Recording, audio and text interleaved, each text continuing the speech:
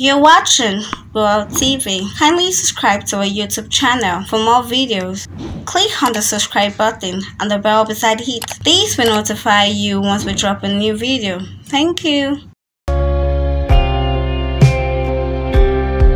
One of Nollywood's legends in the Yoruba film genre, Alhaji Yekini Omobolanle, popularly known as Baba Legba, is dead.